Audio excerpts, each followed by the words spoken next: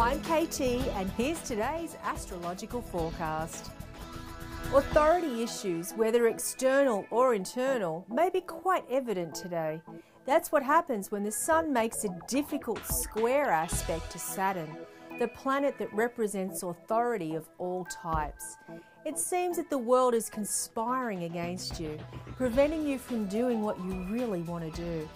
The key to handling this energy is to demonstrate discipline and follow the rules.